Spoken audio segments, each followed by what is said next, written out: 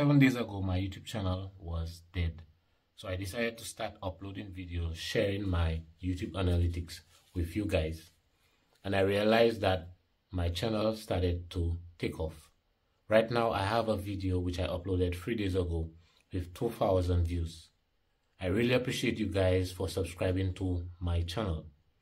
Now, what I have observed with the YouTube algorithm that you just have to trust the process and create videos for the platform. I was really frustrated about this channel not getting views, not getting subscribers. And I understand how you guys feel right now because it takes a lot to go ahead and create a video, edit for sometimes three hours, create a good thumbnail, create, create a good title, and then this video still do not get views.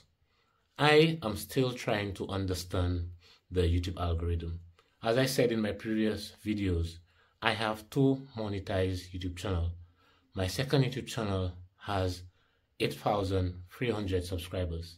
And so far, I have made a total of 1,200 US on there. And my advice to you guys, what I can say is keep uploading videos and just trust the process any one of your videos can take off. And this will be a sign to you that this is the type of videos you have to create on the platform. Note that everyone starting a YouTube channel will start at zero subscribers and no views.